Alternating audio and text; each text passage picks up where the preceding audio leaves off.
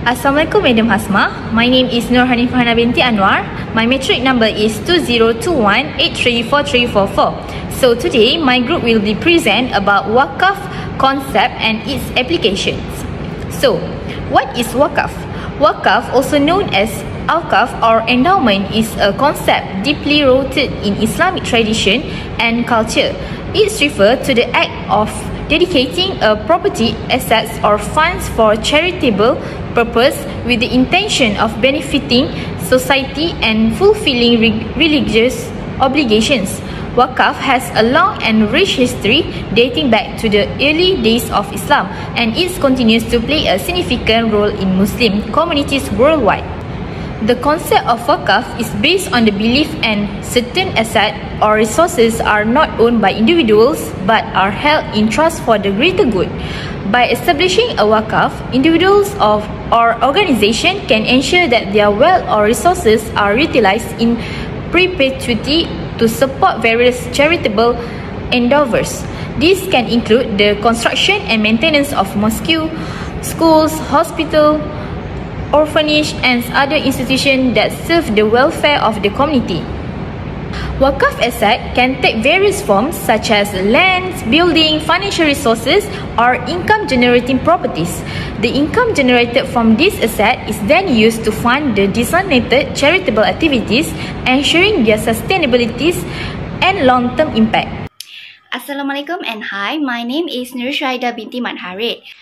I will continue the presentation by presenting about the features of wakaf. Wakaf, also known as endowment in English, is an Islamic legal concept that involves the dedication of a property or asset for religious, charitable, or philanthropic purposes. The primary purpose of wakaf is to ensure the preservation and continuous benefit of the dedicated property with the intention of benefiting the community or a specific group of people. Here are some key features of wakaf. The first feature is permanence. Wakaf is intended to be a perpetual endowment, meaning that the dedicated property is held in perpetuity and its original purpose cannot be altered or revoked. Next is religious or charitable objective, which is wakaf is primarily established to support religious or charitable causes.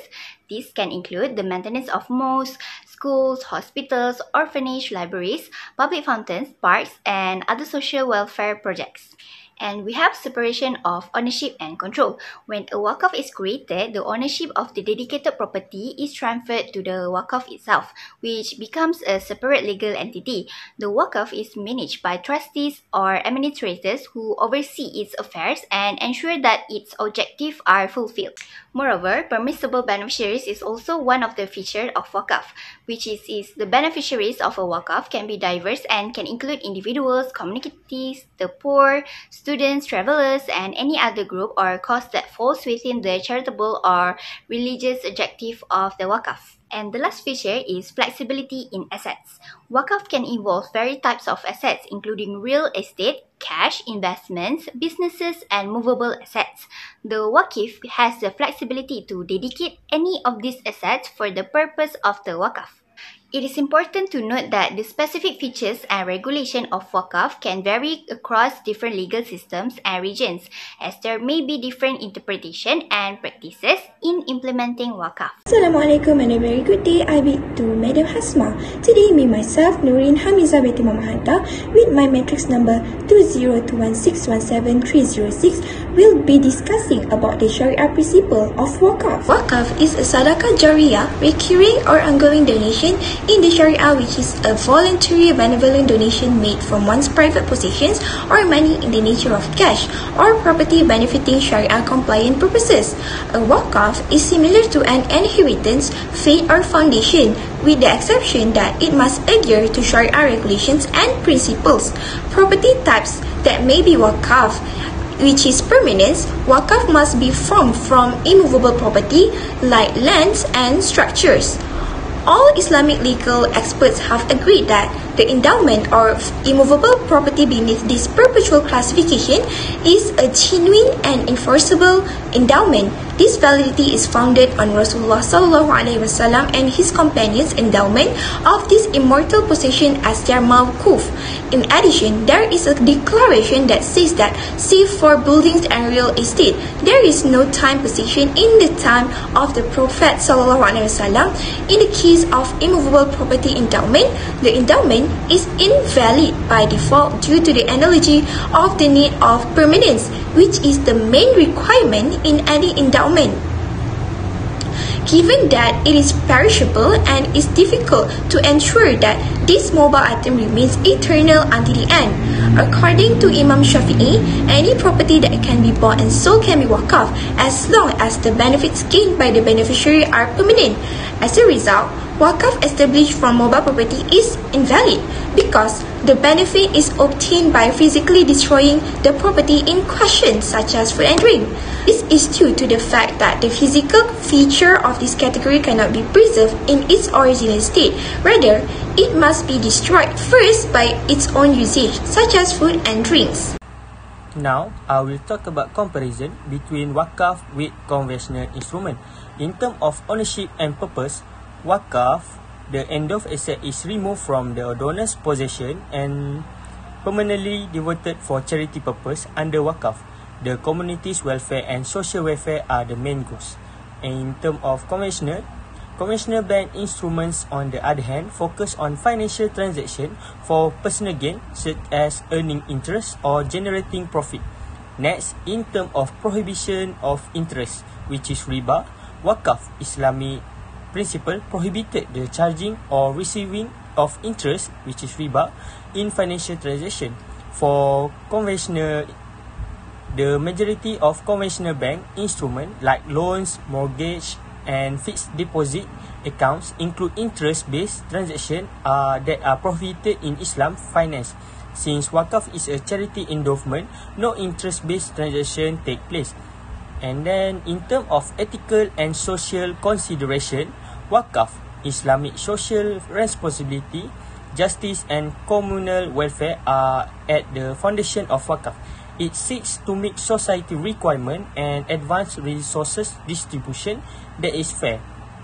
For conventional instrument, conventional bank instrument are driven by profit maximization and may not necessarily prioritize social, social or ethical consideration.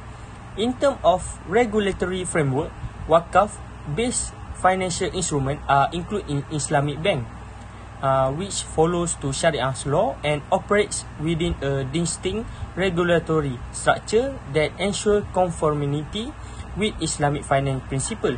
And for conventional, conventional banks operate within a regulatory framework governed by banks law and regulation. And then next and the last one is in terms of asset back nature, Wakaf involve the endowment of materials goods like real estate, money or price listing.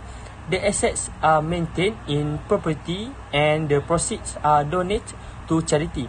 For conventional, conventional bank instrument often in volume monetary transaction and may not have direct asset banking. That's all for me. Thank you. Assalamualaikum and hi, Madam Hasmah. I am Zarid Sofia Azhar binti Muhammad Azhar. I will be explaining about the case study that I have found regarding this topic which is wakaf uh, concepts and its application. Based on this case study from University Science Islam Malaysia, it explains about the current wakaf management practices by a wakaf institution in Malaysia. For the purpose of this research, one particular wakaf institution in Malaysia was studied, namely Wakaf Institution A. Wakaf Institution A collaborates with an Islamic bank in Malaysia to manage a cash wakaf scheme.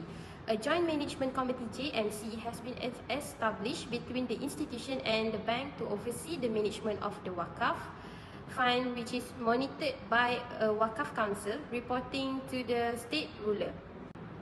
The JMC is responsible for channeling collected wakaf funds towards wakaf projects, providing support in education and health, and investing a portion of the wakaf profits. The investment of wakaf funds is handled by the Islamic Bank with 25% of investment returns allocated to wakaf institution A and the remaining 75% reallocated by the JMC for appropriate wakaf activities or programs. The available disclosures on Wakaf performance and socio-economic impact reporting by Wakaf Institution A are limited. Specifically, under the Cash Wakaf scheme, the fourth quarter report for September to 2017 December revealed that the accumulated cash wakaf fund as of the December 31st, 2017 was RM 8.94 million.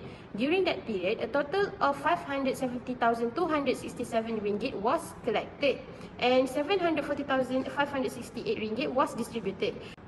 According to the above figure of this case study, Wakaf Institution A requires Wakif, those who want to donate Wakaf, to fill out a Wakaf application form, which is available both online on the institution's website and offline at their office. There are three types of Wakaf application forms, which is the first one, Wakaf Intention Form, which is also known as Borang Hasrat Wakaf. This form is for immovable Wakaf assets such as land and buildings. It consists of one page with three sections which consists of Wakif information which is name, address, IC number and phone number. The next form is State Wakaf Share Application Form. This form is for movable Wakaf assets, specifically cash or checks.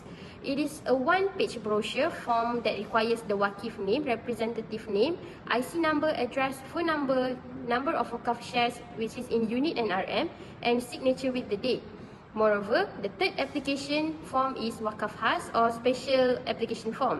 This form is for the registration of Wakaf Khas projects. It consists of two pages and requires the following information which name of the Wakaf Khas project, purpose of creating the Wakaf Khas project and name of the head of the Wakaf. Thank you. The primary objective of Wakaf is to benefit society by providing ongoing support to specific causes of organizations. It can involve the endowment of assets such as land, buildings, financial resources, or even income generating properties.